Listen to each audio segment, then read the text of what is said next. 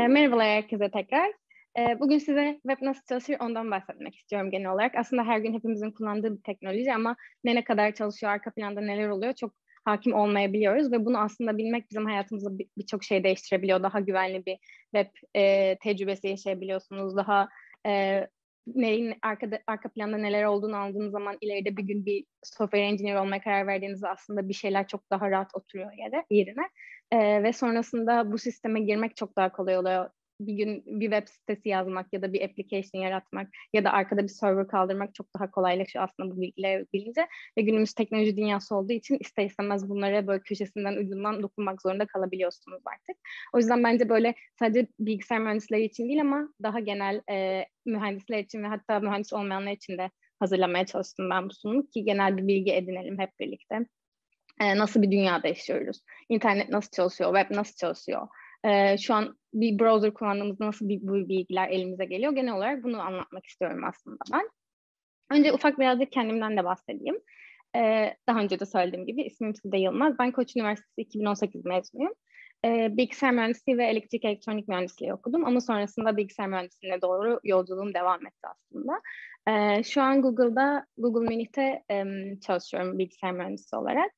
E, şu an özel olarak Chrome'un Privacy takımındayım ve Android, iOS ya da desktop uygulamalarını yazıyorum. Um, buralarda farklı farklı görevlerim oluyor. Genelde privacy alanında çalışıyorum dediğim gibi. Ee, daha öncesinde de okurken e, part-time çalışmaya başladım. Part-time çalışmaya başladım. Burada yine mobil sistemler üzerine çalışmıştım. Valencia isminde bir şirkette. Oradan sonra da SAP'ye geçtim. Orada Distributed Systems Security gibi sistemlerde çalıştım, network gibi. O yüzden aslında bu slide böyle yaptığım bütün işlerin genel bir karışımından öğrendiğim şeyleri anlatmak istiyorum. Yani birazcık e, experience oluşmuş bilgiler oldu ki açar açıp bakarsanız aslında hepsi çok temel bilgiler ama e, birazcık böyle büyük e, büyük resmi görmek için çok yararlı oldu bence şu üç senelik tecrübede aslında genel olarak işler nasıl çalışıyormuş, ne varmış, ne yokmuş. Şimdi bunu gerçekten e, anladıktan sonra böyle insanlara da anlatmak hoşuma gitmeye başladı. O yüzden böyle bir şeyle geldim. Um, e, genel olarak baktığımızda şöyle bir çok basit bir yapı var aslında yani çok çok net.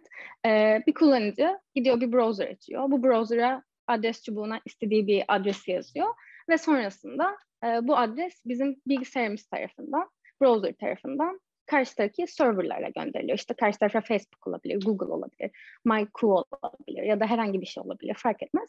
Buraya bir e, sorgu atılıyor ve buradan bir cevap dönüyor. Ve bu dönen cevabın karşılığında bizim browserlarımız bu dönen cevabı anlamlandırıp anlamlandırıp karşımıza bir tane büyük bir oynayabileceğimiz bir ekran çıkarıyor aslında. Çok her gün yaptığımız bir işlem ve çok hızlı oluyor. Arkasında bir sürü optimizasyon var. Ama ben bunu genel olarak iki kısma ayırmak istedim daha kolay anlaşılsın diye. Ee, ilk kısmı client server communication. Burada client dediğimiz şey bizim bilgisayarımız. Server dediğimizde dataları aldığımız aslında e, sağlayıcı oluyor. Burada işte Facebook, Google gibi aynı şekilde sağlayıcılar ya da uygula, herhangi bir uygulamanın serverları oluyor.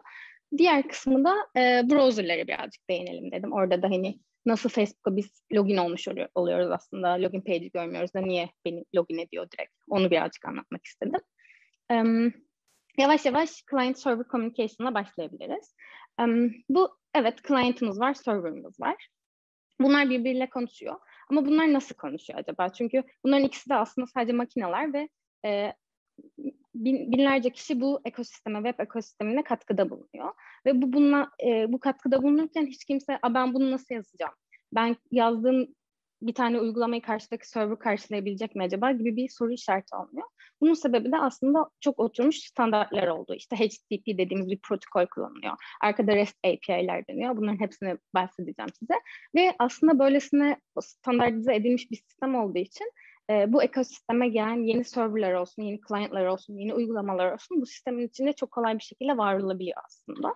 E, ve bu şekilde çok büyük bir sistemden bahsediyoruz. Kocaman bir web bütün dünyada dolaşıyor ve bu sistemin bu kadar sorunsuz çalışabilmesi için bu standartlara çok ihtiyacımız var. E, öncelikle biraz client nedir ondan bahsedeyim. Client client deniyor. Çok da duyuyorsunuzdur muhtemelen ama bilmeyenler için şöyle bir şey geçelim. Web client dediğimizde dediğimizde aslında bizim aklımıza direkt web browserlar geliyor işte. Chrome olabilir, Safari olabilir, Firefox olabilir ve bir sürü var bunlardan. Bunlar aslında webde dolaşmamız için bizim gidip datalarımızı alıp e, user'la interact, inter, user'ın interact edebileceği bir hale getiren platformlar, bir uygulamalar aslında. Ee, ama genel olarak software dünyasında düşündüğümüz zaman client dediğimiz şey aslında bizim device e, cihazlarımız oluyor. Bunlar işte mobil cihazlarımız olabilir, e, masaüstü cihazlarımız olabilir. Bunlarda yazılan herhangi bir uygulama olabilir. Bunlar genel olarak client diyoruz software, software dünyasında. Bir diğer kısımda serverlar. Serverlerde sağlayıcılar oluyor. Bunların içinde datalar giriyor. Ee, benim adıma karşılık gelen işte verilerim duruyor orada ya da arkasındaki um, um, business logic duruyor arkasındaki attığınız bir sorguya karşılık ne dönecek, nasıl dönecek, kim için nasıl dönecek gibi e, mantığın durduğu yerler aslında. Bunları da çok çok genel olarak iki kısma ayırabiliyoruz. E, birisi local service, birisi de cloud service. Um, local service dediğimiz şey e, aslında bunlar eskiden aşırı çoklardı. Hala çok fazlalar ama gitgide sayıları azalıyor. Çünkü artık dünyada cloud'a doğru bir gidiş var. Um, local server dediğim şey aslında herhangi birinin kendi evindeki bilgisayarında bile kaldırabileceği serverler. Server kaldırmak diye bir terim var. Aslında bir tane e, dataların tutulduğu ve size bir sorgu attığınız zaman dönen şeylere server, bunlar sağlayıcılar ve bunları server kaldırmak denen bir bilgisayar terimi var. Genel olarak böyle kullanılıyor. E, bu aslında local serverları siz kendi evinizde bile kaldırabiliyorsunuz. İşte ben şöyle bir uygulama yapacağım. E, o uygulama için de e, işte um, mesela bir alışveriş uygulaması yapayım. Alışveriş sepetimdekileri görmek için şöyle bir sorgu atacağım. Burada serverdan da böyle bir cevap dönsün diye kendi evinizde bile kaldırabileceğiniz şeyler. Bunların özellikleri genel olarak daha güvenli olarak düşünebilirsiniz aslında. Hala bankalarda çokça local serverlar kullanılıyor. Çünkü oralarda dataların dışarı çıkmaması daha önemli ya da ülke dışına çıkmaması daha önemli. O yüzden cloud teknolojileri yerine local serverlar tercih edilebiliyor. Cloud server dediğimizde aslında bu cloud provider'lar var işte Amazon, Microsoft, Google bunlar zaten üç büyük ve çok daha fazlaları var bunların. Bunlar da e, diyorlar ki siz evinizde uğraşmayın serverlerinizle biz bütün e, hardware maintenance'ını yapacağız. Sadece ne istediğinizi bize söyleyin diyorlar. Oraya belli bir ücret ödüyorsunuz ve bu ücret karşılığında aslında sizin bütün arkadaki server düzeninizi onlar sağlıyor.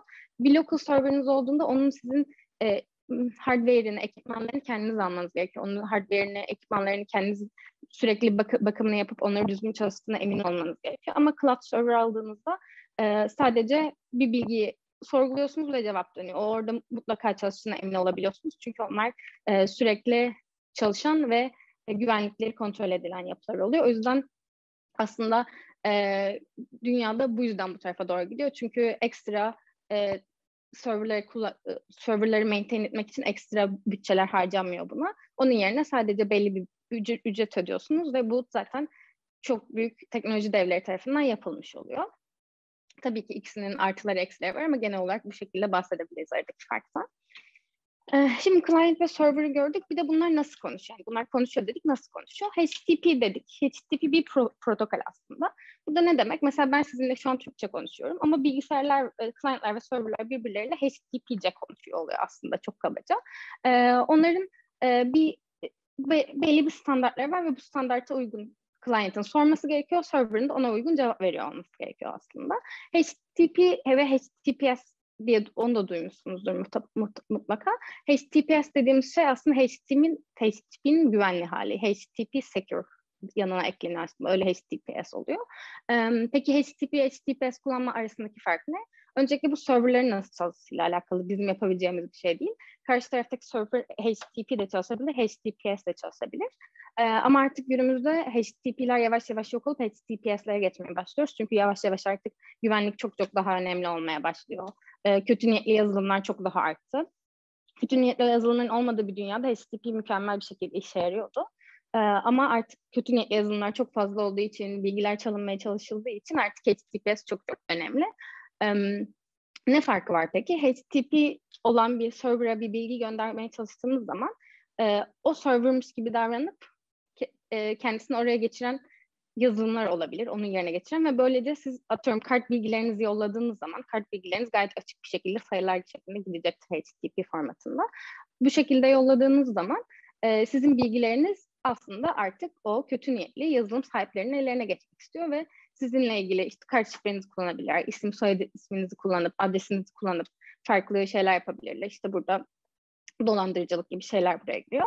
Ama HTTPS olduğunda e, sizin attığınız sorgu ya da client'ın attığı sorgu e, şifreleniyor. Ve bu şifreleme sonucunda artık e, herhangi bir kötü niyetli bir yazılım araya girdiği zaman bu giden bilgileri göremiyor oluyor. E, bu da işte kart bilgileriniz artık güvenli ve bunu sadece karşı tarafta göndermek istediğiniz server'ını açabileceği bir algoritma sayesinde bunlar sağlanıyor. Ve e, bu e, onlarda karşı tarafta gerekli sertifikalar olmadığı için kötü niyetli kısımda e, onlar artık sizin attığınız bilgileri görememeye başlıyor ve böylece e, bir da gayet güvenli bir şekilde alışverişinizi yapabiliyorsunuz ya da webde gezmeye devam edebiliyorsunuz.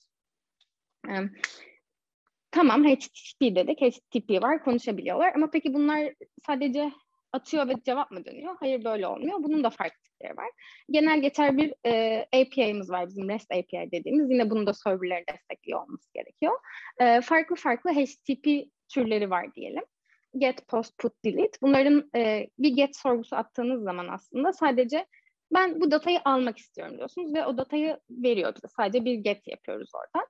E, post, put'ta birazcık serverda yazan datayı değiştirmek istiyoruz. Oraya başka bir şey yazmak istiyoruz ya da orada yazanı değiştirmek istiyoruz. Bir e, modifike işlemi yapıyoruz aslında. Delete sorgusu yaptığımızda da tabii ki orada da serverda bulunan bir datayı silmeye çalışıyoruz. E, biz ne atarsak atalım buna karşılık olarak serverdan bir response dönüyor. Bu dönen response'da JSON dediğimiz çok standart bir format yine aynı şekilde. Sadece software'de değil başka alanlarda da kullanılıyor bu. Ee, böyle köşeli parantezli, e, aralarda virgül olan, aslında makinelerin rahat rahat e, bu gelen bir teksti e, parametrize edebilmesini sağlayabilecek bir format aslında çok basit bir şekilde düşündüğümüzde. E, ve genel olarak şu an kullandığımız uygulamalar e, çoğunlukla bu halde çalışıyor. Mesela şöyle örnek verelim. E, ben yine Facebook'tan, Facebook üzerinden gidelim. Ben Facebook'ta e, ana akış sayfamı görmek istiyorum. Bu çoğunlukla get'ten oluşan bir sorgu. Çünkü ben hiç şey yapmıyorum. Sadece aşağı doğru iniyorum ve ben bana diyorum ki bana bu bilgileri ver. Burada çoğunlukla bize get sor server'a get sorguları yolluyor client. Ama oldu da ben mesela profilime gidip orada bir şeyler değiştirmek istedim. O zaman post ve put sorguları atılabiliyor. Ya da tamamen ben Facebook'tan çıkmak istedim hesabımı siliyorum. O zaman da bir delete sorgusu atılıyor aslında gibi düşünebiliriz bunları. Şimdi birazcık da request response, onu da çok konuşuyoruz. Request ne, response ne tam atıyoruz da ne acaba bu requestler, response'lar. Sol üstte gördüğümüz şey aslında bir request örneği. Bir, elimizde bir şey olsun diye getirdim ben onu. Bu gördüğünüz gibi get sorgusu üst, üstte yazıyor. Sonra biraz daha yanına devam ettiğimizde HTTP protokolüyle gönderilmiş. Onu görüyoruz. Altında host var. Hangi e, server'a ulaşmaya çalışıyoruz onu yazıyoruz. Test 101'e ulaşmaya çalışıyormuşuz. Ve onun altında da işte accept, accept language, accept encoding diye gördüğümüz e, ve altında user agent. E, bunlar da header'lar oluyor. Bu header'lar hem request hem response'da göreceğiz bu header'ları. E, bu header'lar aslında client ve server'ların birbirleriyle anlaşabilmesi ve daha optimal bir user experience sağlayabilmek için web ekosisteminin çok yoğunlukla kullandığı header'lar oluyor ve bunlar e, server'a, client'e göre farklılıklar da gösterebiliyor. E, mesela e, bir internet sitesini de, e, desktop'ınızdan açtığınızda ve mobilinizden açtığınızda farklı görüyorsunuz. Bunun sebebi aslında bu header'lar. E, client bu header'lere göre kendi şekillendiriyor. Server de aynı şekilde bu header'lere göre dönen cevabı değiştirebiliyor. E, en altta da artık request'imizin göndereceğimiz şey var. Mesela burada book ID'si göndermişiz ve yazarı sormuşuz. Bu test 101 sitesinden biz book ID'si 1, 2, 3, 4 olan yazarı da şöyle olan bir şeyin bilgisini çekmeye çalışıyoruz aslında buradaki sorguda. Bakalım response ne gelmiş? Direkt, her, direkt bunun response olmasa da yakın bence. E, response'da da yine HTTP ile döndüğünü söylemiş orada bir protokol yazmış. 200 diye bir şey görüyoruz. Bu bir success kodu oluyor. Başarılı bir şekilde service'ı de client'e şey dönebilmiş, bir bilgi dönebilmiş. Bunu görüyoruz. Ne zaman döndüğünü söylemiş. Yine aynı şekilde biraz önce request'te gördüğümüz header'lar var burada da. Bu header'larda da işte yine aynı şekilde client ve server'ın daha optimal bir user experience sağlamasını neden oluyor. Ve en altta da şey görüyoruz, content type. Bu content type'da text ve yanında HTML yazıyor. HTML'de geleceğiz genel olarak onu da bahsetmek istiyorum. Burada şey demek istiyor aslında ben gönderdiğim, altta gönderdiğim body'de tek HTML formatında size bilgi gö- gönderiyorum. O yüzden diyor client'a ben HTML yolluyorum. HTML'i parse et ve ona göre aslında user'a bir şeyler göster gibisinden bir mantık var burada. En altta da yine böyle iki tarafta taglerin olduğu bir HTML teksti görüyoruz. Altında home, home, my homepage yazıyor.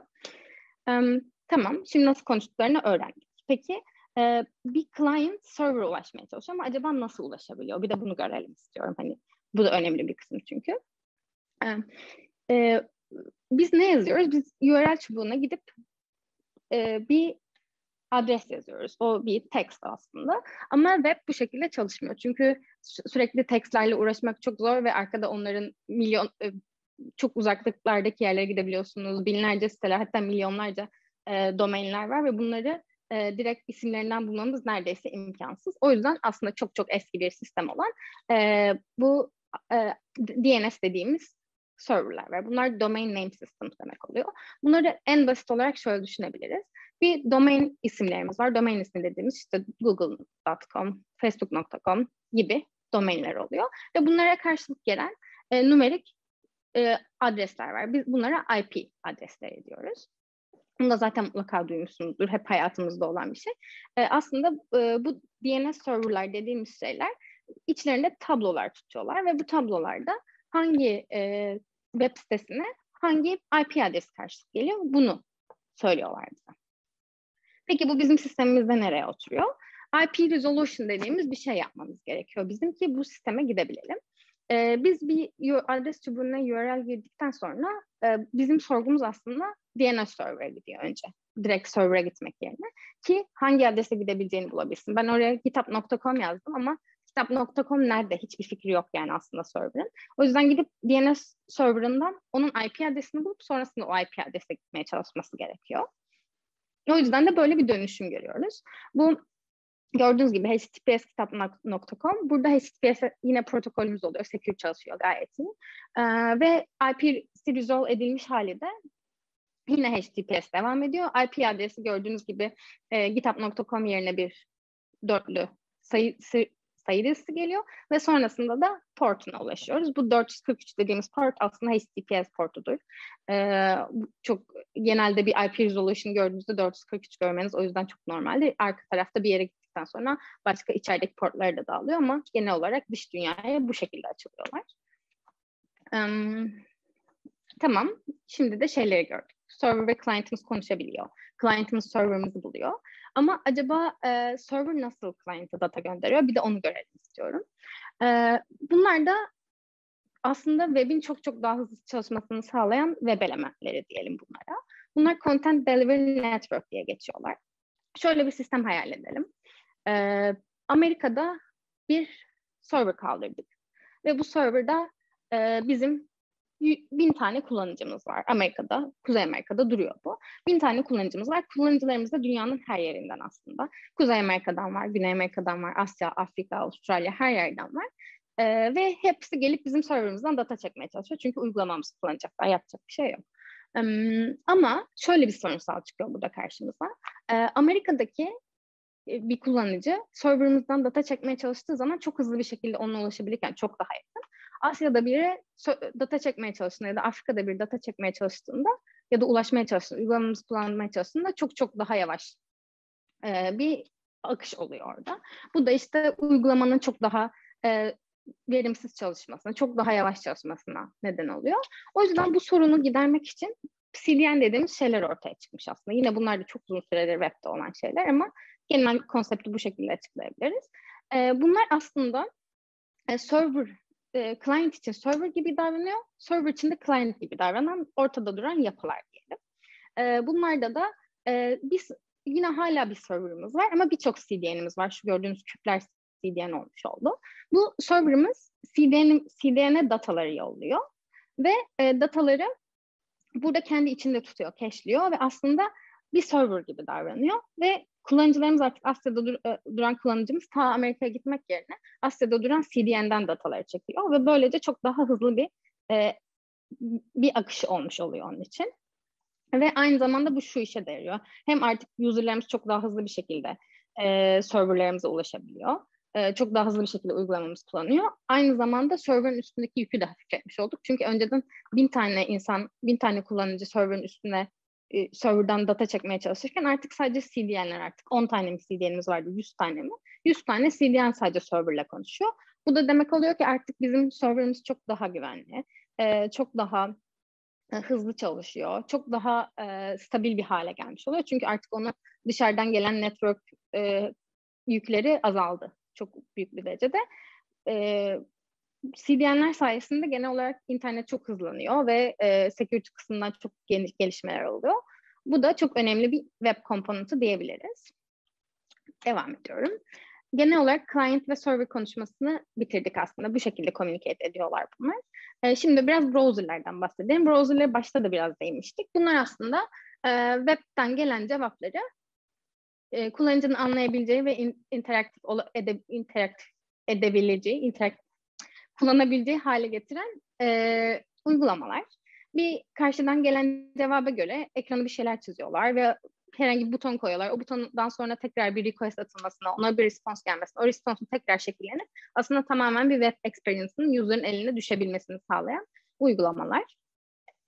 Burada arkada ne sistemleri kullanıyor? Bu HTML, CSS, JavaScript. Bunlar da yine çok duyulan, her yerde geçen e, konular. HTML dediğimiz şey aslında şu solda gördüğünüz sayfa. Bu taglerden oluşan, içinde bir şeyler yazan, bir şeyler hakkında bize bilgi veren. İşte şurada mesela title koymuş. Bu sayfanın title'ı bu mesela. Ee, sonra orada bir sürü yine farklı farklı o sayfanın çizilmesi için bize gereken şeyleri söyleyen, keywordleri veren bir sayfa aslında. Um, CSS dediğimiz şey HTML bu e, sayfayı bize veriyor. CSS dediğimiz şey de bunu şekillendiren aslında. Burada CSS kısmına görüyoruz. E, CSS slash bootstrap ya da alt tarafında sayfanın. Burada e, bu CSS de aslında HTML'in çok daha güzel ve style bir şekilde görünmesini sağlayan style e, e, file'ları oluyor. E, bu HTML ve CSS bizim sayfamızın güzel görünüp gelen bilgileri gör, görmemizi sağlıyor ama bunlar bize e, aksiyon kabiliyeti vermiyor. Bunu yapan şey de aslında JavaScript. Oradaki bir butona tıkladığınızda web'deki bu JavaScript'te arkada e, hangi fonksiyonun çağrılacağı, bu fonksiyonun çağrılması sonucunda ne gibi şeyler olacağı. İşte bir fonksiyon çağrıldı, bir cevap geldi. Bu cevaptan sonra ekrana tekrar bir şeyler çizilecek. HTML, CSS konuşmalar gibi. Bunları aslında JavaScript hem e, kullanıyor. Eğer bir web development yapmak isterseniz ileride bu üçüyle mutlaka e, ilgilenmeniz gerekiyor. Çünkü hepsi gerçekten çok önemli elemanlar ve webin ana taşları diyebiliriz biz bunlara. bir de en son olarak bahsetmek istediğim şey e, browserlar bizim nasıl daha önce login olduğumuzu biliyorlar. Ben Facebook'a gidiyorum evet bir kere ilk açtığımda browser'ımı login oluyorum ama sonrasında bir sonraki seferle hiç login olmama gerek kalmıyor. Beni direkt oraya alıyorlar ve ben kullanmaya devam ediyorum. Bunu sağlayan şeyler de bizim cookie'lerimiz aslında. Cookie dediğimiz e, her browser'da, çoğu browser, evet browser'larda bulunan e, cookie'ler var. Bunlar da şöyle çalışıyor. Ben bir sayfaya gidiyorum. İlk Facebook'a girdiğimde e, Facebook'a girerken ben kullanıcı adı ve şifremi giriyorum. Sonra Facebook'un serverlerine bir request atıyorum. Facebook'ta serverlerinden bir response dönüyor ve o response'da da evet de buraya girebilir. E, çünkü kullanıcı adının şifresini doğru yazdı ve şöyle de bilgilerle girecek. Ve yanında da set cookie diye bir tane header yolluyor. Bu header'da da işte benim station ID'mi söylüyor. Diyor ki böyle bir station ID'si var bunun. Sonra bu session ID'yi browserlar kendi cookie jarları, cookie jar deniyor işte cookie kavanozlarında saklıyorlar. Ve bu sakladıkları cookie'ler sayesinde ben bir sonraki Facebook'a girdiğim zaman ilk başta browser gidiyor bu cookie e, jarını kontrol ediyor. Acaba Facebook için bir session ID var mı orada diye. Eğer varsa bu session ID'yi Google serverlarına yolluyor. Ve böylece ben bir daha login olmama gerek kalmıyor. Aynı şey mesela hepsi burada Trendyol'da e, alışveriş yaptığınızda sepetinizin hala dolu kalmasını sağlayan şey de bu. E, bir e, bir şeyler attınız sepetinize sonra çıktınız browser'ı kapattınız ona bir sonraki geldiğinizde hala sepetinizde duruyor. Onun sebebi de yine aynı şekilde cookie'ler oluyor çoğunlukla. E, çünkü onlar da yine aynı şekilde session'ınızın devam etmesini sağlıyor.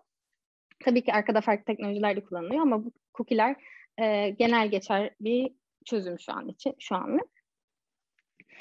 Bence artık bütün elementleri biliyoruz genel olarak. Bir daha bir akış alıp ne oluyor, ne bitiyor, tekrar bir basalım o adres çubuğuna bakalım nasıl gidiyormuşuz. Bir daha onu görelim. Evet, kullanıcı geldi, browser açtı. Adres çubuğuna facebook.com yazdı. Facebook özellikle seçtim burada ki hala login olmuş halimizi görelim. Ee, ve e, bizim m, client'ımız kendi içinde bu bilgi bilgi olmadığını varsayarak söylüyorum bunu. E, Facebook.com'u ben bilmiyorum diyor. Hani nereye gideceğim gerçekten diyor ve DNS server'a bir e, sorgu atıyor. Buradaki bana Facebook.com'un adres IP'sini döner misin diye. Sonrasında da DNS server e, IP adresini dönüyor Facebook'un ve artık bizim e, client'ımız e, Facebook serverlerine gitmeye hazır.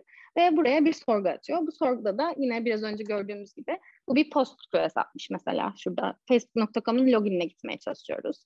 Ee, bir post sorgusu atmışız. HTTP'ymiş. Birazcık daha alta indiğinizde host'u görüyorsunuz facebook.com. Biraz daha aşağı indiğinizde cookie kısmı var. Onu görmenizi istiyorum alttan üçüncü sıra.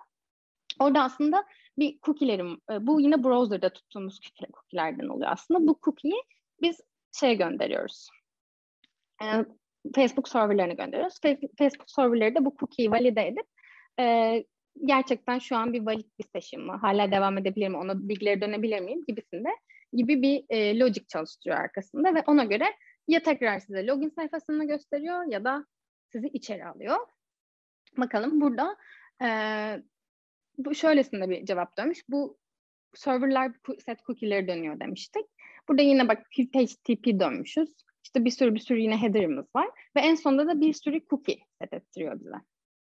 Bu set cookie Facebook serverları dönüyor ve sonrasında bu set cookie döndükleri için browserlar da bunu kendi cookie jarlarında set etmiş oluyorlar ve böylesinde sonrasında da bir e, sürekli bir user experience sağlamış oluyorlar aslında. evet burada da e, bu döndükten sonra aslında birazcık bu süre yok burada evet sonra cookie'leri check ediyoruz. Sonrasında tekrar bir e, serverlara request atıp response dönüyor ve sonrasında aslında devam ediyor. Şu request response çifti aslında birden çok daha fazla oluyor genelde. Çünkü arkada farklı checkler de oluyor ama genel olarak bu şekilde diyebiliriz. Cookie'leri check ettikten sonra tamam artık biz cookie'miz varmış. Bir daha request attık Facebook serverlerine. Bir daha response geldi ve biz artık e, şeyimizi çize, çizdirebiliriz browser'ımıza. Ve browser'ımızda bakıyor tamam bu kullanıcımız bizim daha önce login olmuş. O yüzden şöyle bir sayfa verelim buna. User'ımız giriş yapmış. İşte yukarıda butonları var. HTML gelmiş, CSS gelmiş. Şu butonlarda JavaScript ile çalışıyor mesela. Ee, sonrasında buraya e, cookie'lerimizi kullanmışız gibi böyle bütün akışı görebileceğimiz bir sistem. Gördüğünüz gibi sol üstte de bir tane e, güvenli olduğunu gösteren HTTPS'ten gelme bir şeyimiz bile var, log icon'ımız. Aslında bütün her şeyimiz güzel çalışan bir sistemimiz var şu an. Teşekkürler beni dinlediğiniz için. Ben genel olarak bunlardan bahsetmek istedim. Şimdi eğer sorularınız varsa alabilirim onları. İsterseniz sesinizi açıp söyleyebilirsiniz ya da isterseniz chat'e yazabilirsiniz. Konuşmanız için çok teşekkürler Sidi Hanım. Çok güzeldi gerçekten. Chat'te birkaç soru var. İsterseniz önce ben sonları okuyayım. Daha sonra gelenler olursa aynı şekilde söz veririz. Süper, çok iyi olur. Ee, ilk sorumuz şöyle, teknolojinin çok daha ileri taşındığı boyutta HTTP, HTTPC'den daha, daha ileri koruma sağlayan bir yöntem mevcut mu? Um, HTML mi acaba? HTTPC yazıyor. Den daha ileri koruma sağlayan bir yöntem. Ha, HTTPS, tamam. Evet. HTTPS aslında çok güzel bir koruma sağlıyor şu an. Tabii ki var bu arada çok daha farklı koruma sağlayanlar var. Hatta onları da şöyle söyleyebiliriz. Ee, SSO dediğimiz single sign-in loginler, loginlerimiz var bizim. Ee, bunlar da ee, çok güzel güven, çok güzel bir soruymuş bu arada. Çok teşekkürler bunu sorana. Ee, bunlar da şöyle sistemler aslında.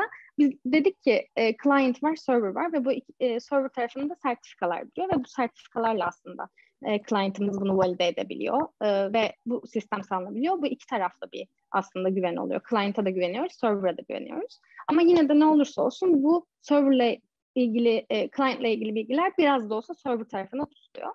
Ama bunun yerine mesela e, Kerberos dediğimiz farklı bir tane authentication mekanizması var. Bu çok daha güvenli e, ve çok daha secure bir yöntem.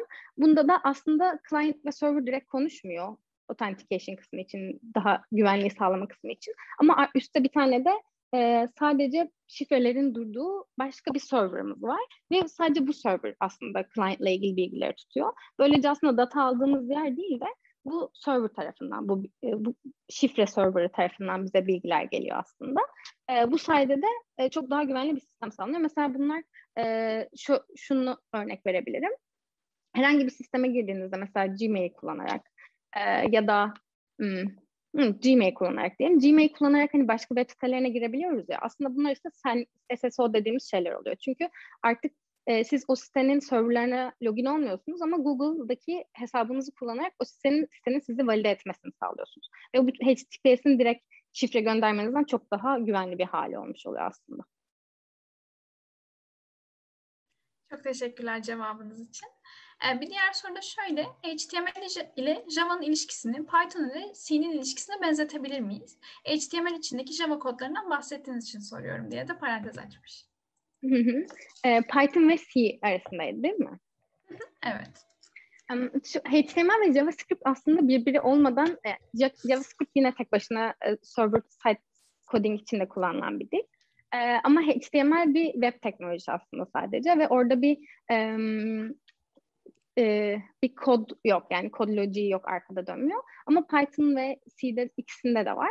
E, HTML ve um, JavaScript'i şey gibi düşünebiliriz aslında birbirleri HTML JavaScript'siz çalışamayan bir komponent gibi düşünebiliriz. Tabii ki çalışabildiği koşullar var ama genel olarak baktığımızda çok işe yarar olması için JavaScript'in onu çalıştırabilir olması, actionable hale getirmesi gerekiyor. Ama Python ve C için aynı şeyi söyleyemeyiz. Python kendi kendine bir dil ve e, he, şey e, server tarafında C olmadan da yaşay yaşayabilen bir dil. Aynı şekilde C zaten her şeyin temeli. C zaten tek başına var olan ve hiçbir şey olmadan tek başına hayatını döndürebilen bir dil yani her, her koşulda. Ee, o yüzden aynı şeye ben benzetemem açıkçası. Ee, Python ve C arasında şöyle bir şey kurabiliriz. Ee, sonuçta Python e, bir high level bir dil ve altta yine her zaman olduğu gibi C çalışıyor. O yüzden Python aslında bir yerden sonra artık makinenin optimizasyonuna göre en sonunda C'ye dönüşüyor. E, ama HTML e, ve JavaScript birbiriyle birlikte çalışıyor diyebiliriz onlara. Teşekkürler. Chat'te de çok fazla teşekkür var zaten. Teşekkür ee, ederim. E, şöyle bir soru da gelmiş. Google'da çalışmak isteyen birinin neler yapması gerektiğinden kısaca bahsedebilir misiniz rica etsem? Tabii ki. Hemen şöyle bahsedeyim. Bu popüler bir soru. Hemen bundan biraz bahsetmek istiyorum ben de. Ee, Öncelikle en önemli şey bence güzel bir çalışma burada ve inanç çok önemli. Çünkü genel olarak şöyle bir şey olabiliyor hani düşünce Aa, Google giremem gibi şeyler olabiliyor yani ki ben de aynı şeyleri düşünüyordum başında. Çünkü e, çok fazla gördüğümüz bir örnek değil ama ben çok fazla görmüyor, görmüyor olmamızın sebebi o baştaki bizdeki ön yargı oluyor. E, ama aslında e, buralarda bence zor olan şey HR görmesini geçmek oluyor. Çünkü ellerine çok fazla e, CV düşüyor ve o CV'lere cev- döndükleri cevaplar çok az oluyor. O yüzden benim ilk ilk e, tembihim şu olabilir. Güzel böyle öne çıkıcı bir CV yaratmak ama bu CV'de böyle sayfalarca olması yerine bir iki sayfalık ama gerçekten sizi ön plana çıkarabilecek şeyler o içermesi. Bunda işte HR mülakatını, HR gözlemini geçmek için söylüyorum. Bundan sonra da işte farklı e, source'lar var. Mesela LeetCode dediğimiz bir e, platform var ya da Cracking the Coding Interview dediğimiz bir kitap var böyle genel olarak zaten interview'da çalışıyorsanız bunları yapmanız gerekiyor gibi. Bu interview'lara çalışmak gerekiyor. Bunlar da bildiğiniz gerçekten üniversite sınavı gibi oturup çalışılması gereken şeyler. Yani tabii ki o kadar uzun soluklu değil ama bir ay en azından bir bakmanız gereken şeyler oluyor. Çünkü orada her gün kullandığınız e, iş düzeyinden farklı ya da öğrenciyken yaptığımız şeylerden farklı olarak algoritma özelinde çok derin sorular sorulabiliyor ve orada e, daha e, ileri düzey sorular da gelebiliyor. İşte distribüt sistemlerle alakalı nasıl e, büyük ölçeğe nasıl acaba kodunuzu dağıtırsınız gibi şeyler olabiliyor. E, o yüzden hani benim tavsiyem e, güzelce çalışıp başvurup sonrasında güzelce çalışıp e, bol bol e, mock interview yapıp sonrasında bu mülakatlara girmeleri. Çok teşekkürler. Gerçekten aydınlatıcı olduğunu düşünüyorum ben. Umarım soran için de öyledir. Bir host şirketinden domain adresi satın alırken dikkat etmemiz gereken şeyler nelerdir? Gizlilik sözleşmesi nelere dikkat edelim? Çok güzel bir soru. Bence ilk dikkat edilmesi gereken şey o host şirketinin gerçekten e, yeterince büyük bir host şirketi olduğu. Çünkü e, burada alacağınız, yapacağınız siteye göre oraya ödeme bilgileri koyabilirsiniz. E, ya da kullanıcı datalarınızı bir şekilde paylaşmanız gerekebilir.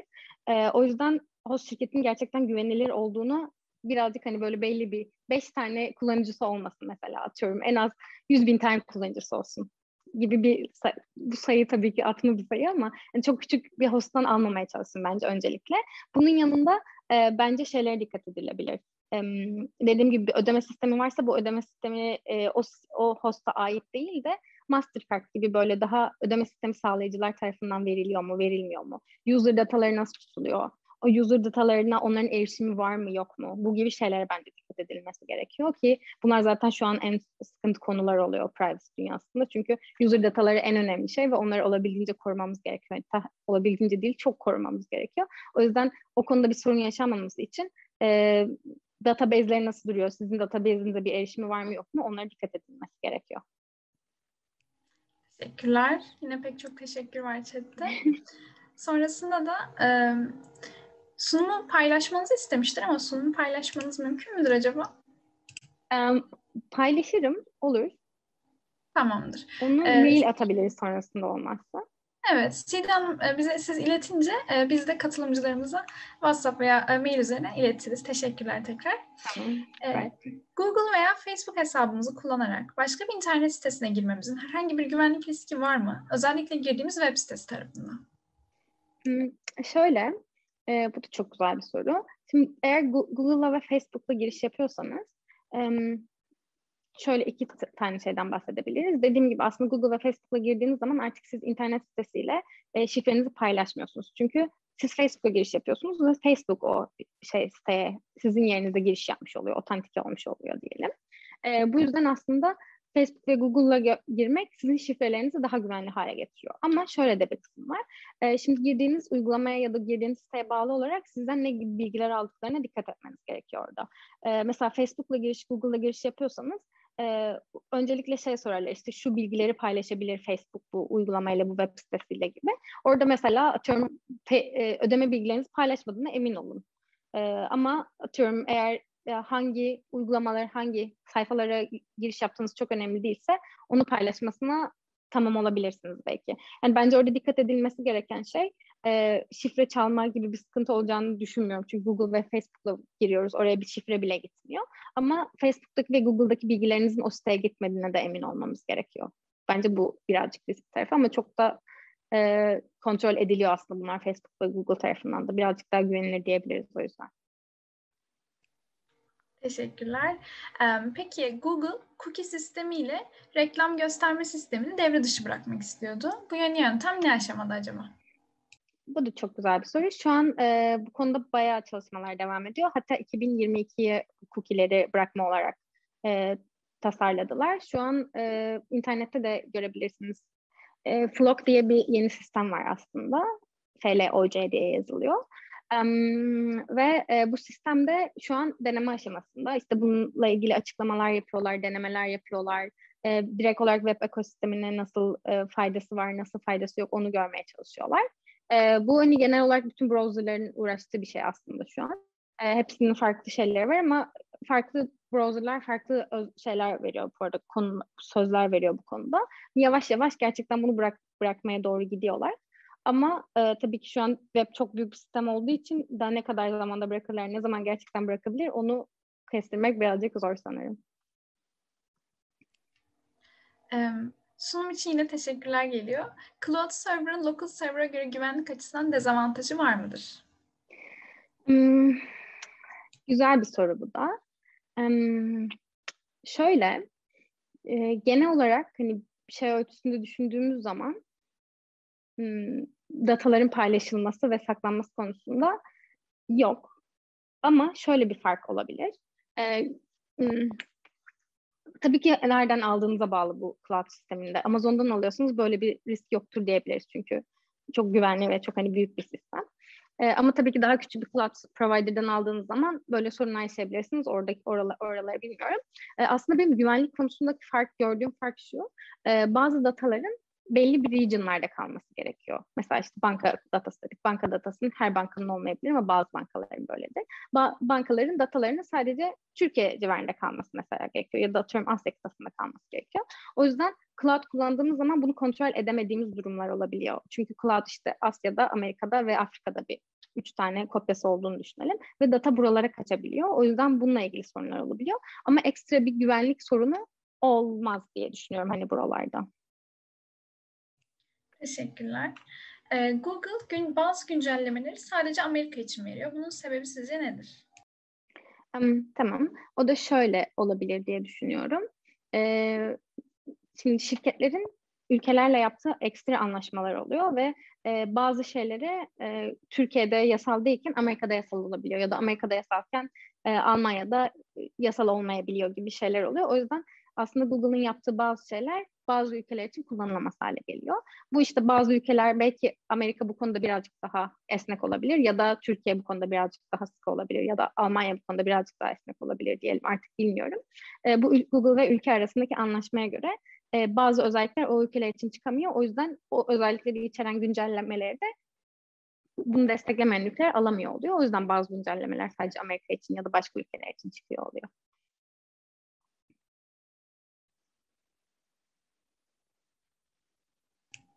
Teşekkürler. Ee, sanırım son olarak bir soru var.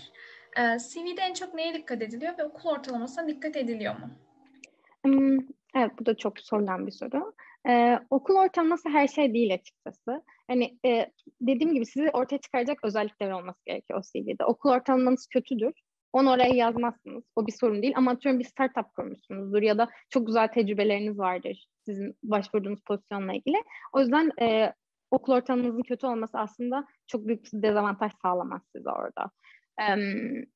bence en çok dikkat edilen şey gerçekten bir wow noktanızın olması böyle. Aa, burası çok iyi, bu bizim işimize yarar diyebilecekleri bir şey görebiliyor olmaları. Bu sizin okul ort not ortalamanız da olabilir. Mesela atıyorum 4-0, 3-8 gibi not ortalamanız varsa bu zaten şeyi de gösteriyor. Sizin çalışkan, başarılı, yetenekli biri olduğunuzu da gösteriyor ama e, aynı şekilde düşük not ortalaması olmasa böyle olmadığınızı da göstermiyor. O yüzden size ortaya çıkarabilecek özellikler önemli burada. Ee, bence en önemli şey hani böyle çok sunabileceğiniz bir özelliği parlatmak diyebiliriz yani orada ya da böyle gerçekten e, her şeyi CV'ye yazmak değil ama e, siz başvurduğunuz yerde sizin için avantajlı olacak şeyleri CV'ye yazmanız gibi diyebiliriz. Teşekkürler. Başka soru var mı? Sorusu olan varsa bir soru daha alabiliriz belki.